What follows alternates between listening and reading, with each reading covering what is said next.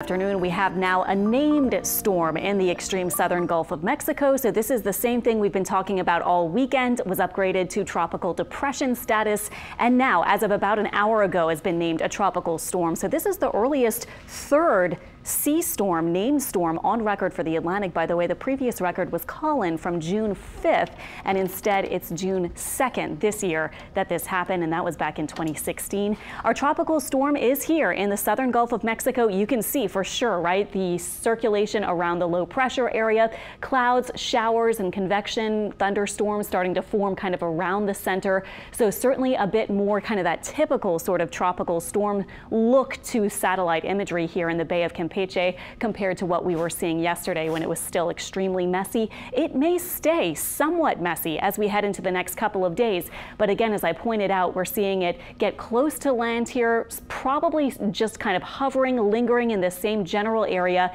And again, I want to stress it may not be until Saturday that this thing makes it north of the Yucatan Peninsula or maybe somewhere near the Yucatan Peninsula, maybe a bit farther to the west and gets out over the southern Gulf of Mexico or central central Gulf of Mexico by that point, and then continues its track toward the Gulf Coast. Still a lot of uncertainty, so we don't know where this thing is heading, but as you can see, it does look like it may kind of meander in that same spot for a while. This would be our spaghetti model plots, the computer models showing where it might be, and this is on Sunday. So this is a long way away, but it looks like maybe starting Sunday, we could have at least some heavy rain associated with it, and that could last into Monday and Tuesday. And by the way, we, it was upgraded to tropical storm status because hurricane hunters did find some evidence of winds and set those maximum sustained winds now at 40 miles per hour. So just a very uh, weak nudge into that tropical storm status as opposed to tropical depression.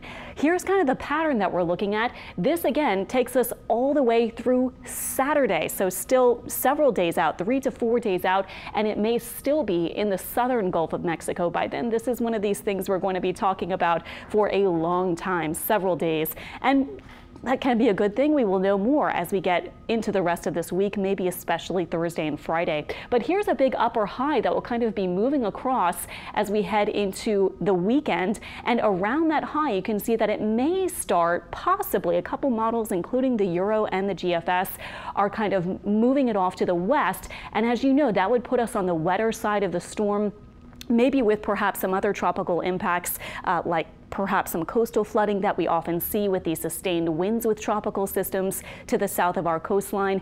And then this is by Monday night. Notice this, by the way, I'm showing you the Euro model uh, just to give you an idea here. Don't take it literally, but just to give you the idea, it may be inland by that point, perhaps if it does make it there. Our seven day rain totals, as you can see, uh, sorry, went through that one too fast, but it does look like it might be through Tuesday morning up to about three or four inches of rain for our area with maybe higher amounts off to the east. So with these kind of messy tropical storm type systems, the rainfall can be spread really across the Gulf Coast with some heavier swaths perhaps really far from the center. So again, one of these things we don't want to focus too much on the center, although of course we'll be talking about that too, but the rain may be more widespread. So where will it go? Too early to say. If it stays west, we may get rain again starting Sunday associated with that. We'll know more Thursday and Friday when it begins to move north. And how strong the intensity forecasts are notoriously a bit harder, but there's warm water and weak shear right now, but there's dry air coming off of mountains in Mexico, plus it's near land, so it probably won't strengthen that much in the next few days, although some moderate strengthening or modest strengthening is forecast. And then in the Gulf this weekend, there will be warm water when it moves north or potentially moves north, but there could still be some wind shear at that point. It's 87 in New Orleans. We have clouds right now. As we look at our temperatures, again, not too bad because of the cloud cover and not that much showing up on radar right now, but there are some showers to our south. We may see about a 30% chance for a few of these showers today with highs probably only in the 80s. And then tonight we'll be looking for lows in the 70s. Tomorrow with an upper level low pressure area that you probably saw on that quick model run that I showed you, that may enhance the rain chance a bit to about 50 to 60%. So a few more showers or downpours around tomorrow. Very typical 30% rain chances Thursday and Friday. And then the end of the weekend is when we'll really have to watch for potential impacts perhaps from Tropical Storm Cristobal. Lots more, of course, will be coming up. A lot more to come is right. All right, thanks, Alexandra. Well, if you're frustrated with the speed of your internet these days, you are